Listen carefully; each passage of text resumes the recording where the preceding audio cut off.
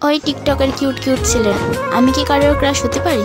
যদি হয়ে থাকি এই ভিডিওতে আমার সাথে একটা ডুয়েট করে দিন প্লিজ প্লিজ প্লিজ আমিও দেখতে চাই কে কে আমার crush. A few moments later.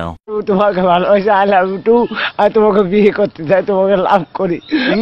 UTC not too I love too আর তোমাকে ভালোবাসি আই লাভ টু ভেরি আর আমি তোমাকে লাভ করি শেয়ার করি মত মত করে।